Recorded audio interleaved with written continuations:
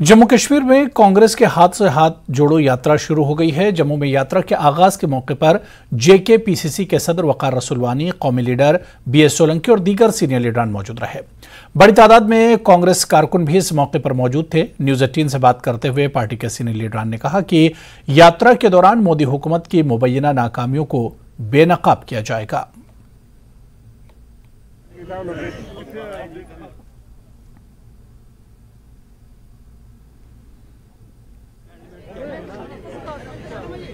Sir एक minute रुकिए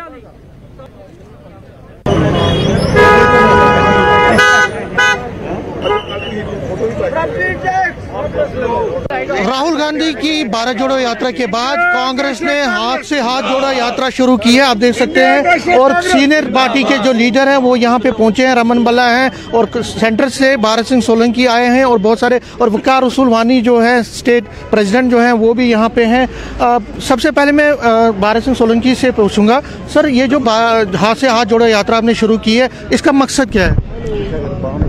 इस देश में जो हालात रहे हैं जिसके देश के सभी लोगों में एक प्रकार का स्ट्रेस टेंशन महँगाई की वजह से बेरोजगारी की वजह से और सब तरह से जो हुआ तो हमारे प्रिय नेता राहुल जी ने सोचा कि देश के लोगों को जोड़ के ही इस मसलों का हल हो सकता है शांति और अमन हो सकता है। और इसीलिए उन्होंने कन्याकुमारी से शुरू करके करीब करीब चार हज़ार किलोमीटर की यात्रा कश्मीर, जम्मू कश्मीर तक की तय की। लोगों ने बड़ा बहुत अच्छा प्यार दुलार दिया, उनको लाखों की संख्या में लोग जुड़े और पूरे देश में एक ऐसा वातावरण हुआ कि उनका जो संदेश रहा कि नफरत छोड़ो, भारत जोड़ो, इस बात का सबने स्वागत किया। उसी बात को पूरे देश में ले जाने के लिए हर राज्य में कांग्रेस पार्टी ने राहुल जी की नेतृत्व में ये हाथ से हाथ जोड़ो का कार्यक्रम तय किया है। ये प्रदेश अध्यक्ष विकार सोलवानी से बात करेंगे। लोकल इश्यूज़ क्या हैं जिस पर ये फोकस रहेगा?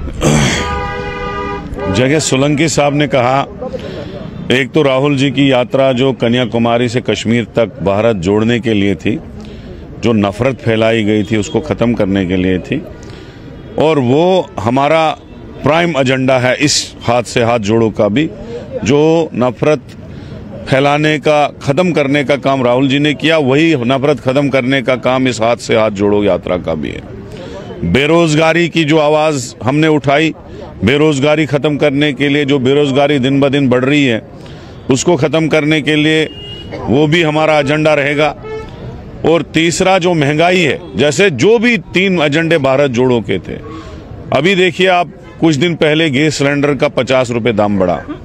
हम चाहते हैं महँगाई खत्म हो, बेरोजगारी खत्म हो, और देश में एक मोहब्बत का वातावरण कायम हो जो बीजेपी ने नफरत फैलाई है, वो खत्म हो जाए। जो कांग्रेस के लीडर्स कह रहे हैं कि मुद्दे बहुत सारे हैं, उन मुद्दों को उठाया जाएगा और पंद्रह दिन का जो ये कार्यक्रम है, उसमें जो लोकल मुद्दों के साथ साथ जो नेशनल मुद्दे हैं, उनको भी उठाया जाएगा और कांग्रेस की कोशिश होगी कि सरकार को इन मुद्दों की तरफ़ ध्यान आकर्षित किया जाए। कैमरामैन साहिबा के साथ में Sameer Bhatt, news eighteen, Jammu.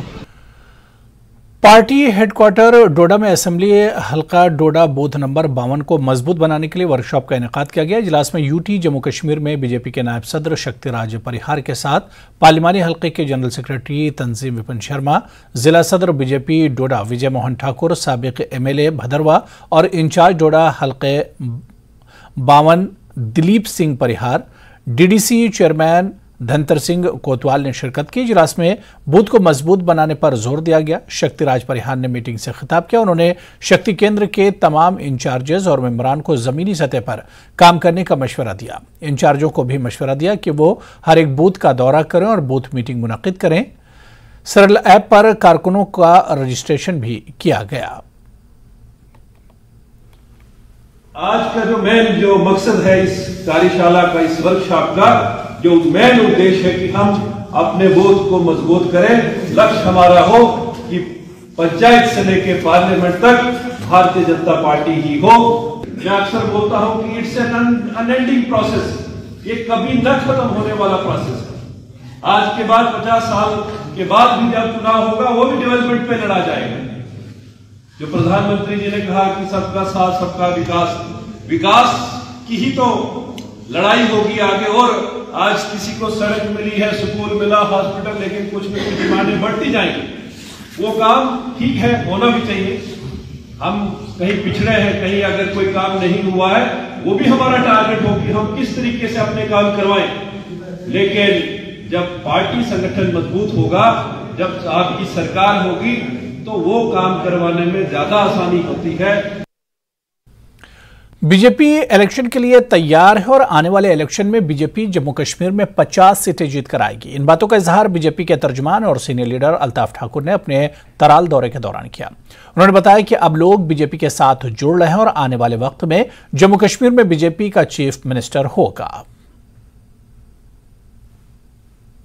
जनता पार्टी इलेक्शन के लिए हमेशा तैयार है और 50 पार का जो आंकड़ा है वो भारतीय जनता पार्टी उस पर मुसलसल काम करे और भारतीय जनता पार्टी जिस तरह नॉर्थ ईस्ट की स्टेट चाहे त्रिपुर हो, त्रिपुरा हो, नागालैंड हो या मेघालय में, जिस तरह वहाँ उन्होंने अपने जीत के झंडे गाड़े और वहाँ जो क्रिश्चियन कम्युनिटी मेजॉरिटी है, उस कम्युनिटी ने वहाँ बीजेपी को वोट दिया इसका सीधा सा मतलब है कि अब कोई तबका बीजेपी से दूर नहीं, चाहे मुसलमान हो, हिंदू हो, सिख हो, ईसाई हो, जैन हो, सबका साथ, सबका विकास और सबके विश्वास को भारतीय जनता पार्टी साथ लेकर चलने वाली और जो हमें अब तक लगता है कि जम्मू कश्मीर का जो मुसलमान है, जम्मू कश्मीर की जो मेजॉरिटी है, वो भारतीय जनता पार्टी को वोट दे के पचास पार का जो नारा हमने दिया है, इसको पार करने में और इसको इस हद तक लेवल लेने में अपना रोल अदा करके और ये मैं डंके की चोट पर कह रहा हूँ, भारतीय जनता पार्टी पचास पार का नारा पूरा करेगी और उन बांटने वाली जो रीजनल पार्टीज़ है, जो बांटने वाली सियासत करती है, जो वोटरों को भी मज़हब के नाम पर देखती है, उनको नकार देगी और भारतीय जनता पार्टी को कामयाब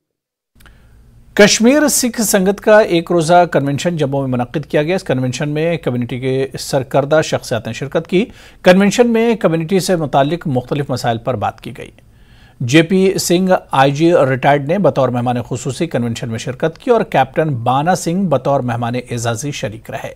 कश्मीर सिख संगत के चेयरमैन डॉक्टर धनवंत सिंह ने कहा कि सिख बरादरी हर साल दरपेश मसाइल के हल के लिए जमा होती है। उन्होंने मजीद कहा कि कम्युनिटी वादी में दहशतगर्दी का यकसा तौर पर शिकार है, लेकिन पैकेजेस और दीगर तहफात से महरूम है। उन्होंने सिख बरदरी को माशी और सियासी तौर पर तरक्की देने के लिए पीएम पैकेज, एम्प्लॉयमेंट और असम्बली में रिजर्वेशन देने का मुतालबा किया।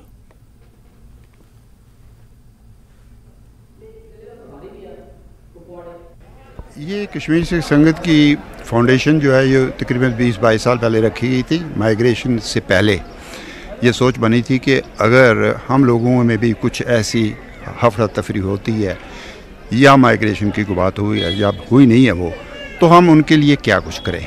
अभी वो बनते बनते इस सिचुएशन पे है कि हम अपने बच्चों के लिए सोच रहे हैं माइग्रेशनों की भी बात कर रहे हैं।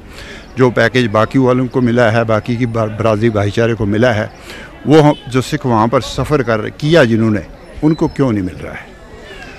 इसके लिए हम अपने सारा भाईचारा इकट्ठा होता है। डेलीगेट्स भी आते हैं कश्मीर से, और वो अपने दर्द को सामने रखते हैं कि हमारी बात सुननी चाहिए। माइग्रेंट्स के लिए जो भारत सरकार ने एक प्रावधान रखा है कि दो सीटें उनको एमएलए की देकर उनको पॉलिटिकली अपलिफ्ट करने की बात की गई है।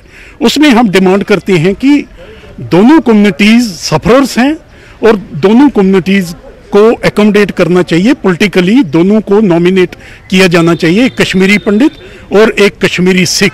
Because both the communities are equally sufferers और दोनों की किलिंग्स हुई हैं कश्मीर प्रांत में।